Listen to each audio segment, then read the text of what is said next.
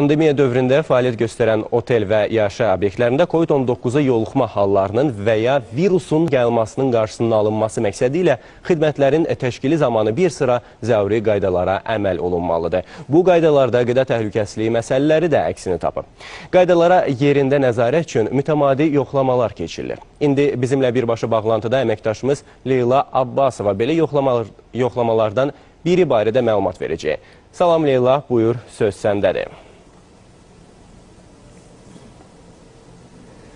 Hər vaxtınız xeyir Kazım. Bəli, hazırda biz paytaxtda yerləşən restoran və kafelərdən birindəyik. Burada əsasən Qida Təhlükəsizliyi Agentliyi, Turizm Agentliyi ilə birlikdə və digər əlaqəli qurumlar reyd təşkil edirlər, monitorinq təşkil edirlər. Məqsəd isə təbii ki, pandemiya dövründə ə, iaşə müəssisələrinin qaydalara nə qədər riayət olunmağı ilə bağlıdır və biz elə burada görürük və tamaşaçılarımıza göstərmək istərdim. Burada hazırda spirt qoyulub bura təşrif ə, buyuran qonaqlar üçün və belə posterlər quraşdırılıb ki, yəni hansı qaydalara əməl etmək vacibdir. Lakin ə, daha dəqiq hansı qaydalara əməl olunmalıdır? Ümumiyyətlə sahibkarlar bu qaydalara əməl edirlərmi? Bununla bağlı Qida Təhlükəsizliyi Agentliyinin ə, şöbə müdiri Əkbər Əliyev suallarımızı cavablandıracaq. Hər vaxtınız xeyir Əkbər müəllim. Salam, hər vaxtınız xeyir. Biz bilirik ki, artıq bir həftədən çoxdur ki, reydlər davamlı sürətdə davam edir, həm paytaxtda, həm də eləcə də regionlarda. Ümumiyyətlə bir ümumiləşdirmə aparsaq, qaydalara riayət olunurmu? Yəni qaydalara nə qədər ümumiyyətlə riayət olunur? Təşəkkür edirəm. Məlumat üçün bildirim ki, e, Qida Təhlükəsizliyi Agentliyi, e, Dövlət Turizm Agentliyi və aidiyyəti digər dövlət qurumları ilə birlikdə mehmanxanalarda monitorinq və nəzarət tədbirləri həyata keçirilir və nəzarət tədbirlərinin əsas məqsədi Nazirlər Kabinetinin 287 nömrələri qərarı ilə təsdiq edilmiş qaydaların yerdə icra vəziyyətinin öyrənilməsi, araşdırılması ilə bağlıdır.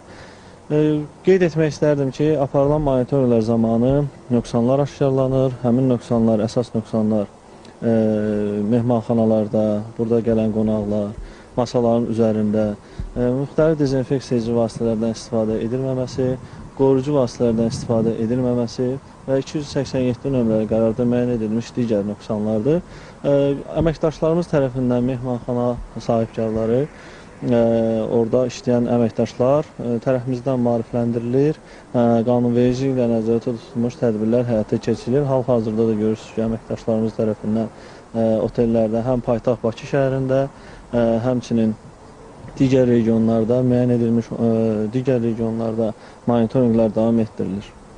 Ümumiyyətlə maraqlıdır. Cərmələnənlər varmı? Yəni sahibkarlar arasında. Bəli, inzibati məsuliyyətə cəlb olunan ə, mehmanxana sahibləri də var.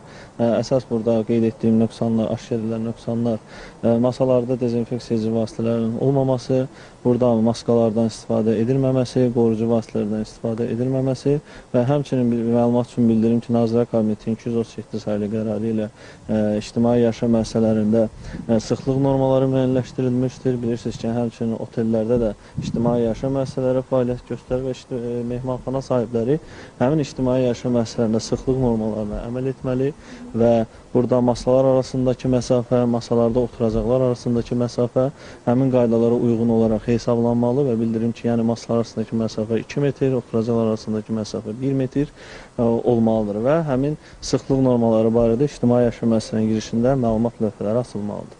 Təşəkkür edirəm ətraflı məlumata görə və paytaxtda aparılan reydlərlə bağlı çatdıracağımız informasiyalar bunlardan ibarət idi. Kazım Çox sağ ol Leyla, ətraflı məlumat üçün.